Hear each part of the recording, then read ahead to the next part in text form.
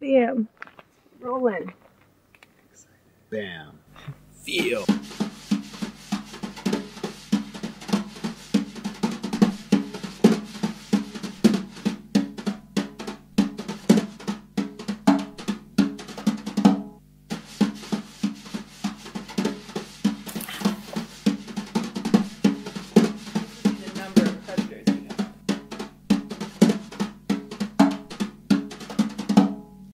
I think the level of understanding that students are able to cultivate over a three week course at Bamfield is beyond anything I've ever seen anywhere else.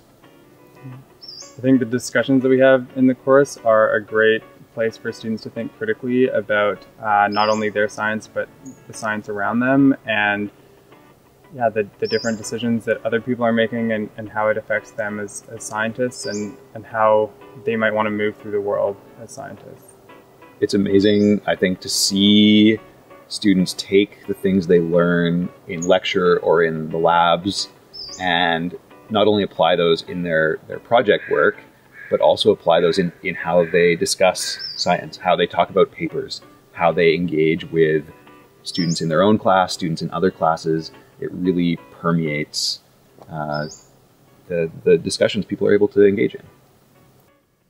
Running this course at Bamfield really allows for a, an intensive learning environment.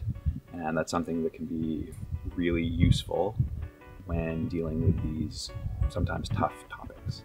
I think one of the biggest progressions we see is that when students start, they view models as these very mathematical things that they don't understand or are pretty scared of.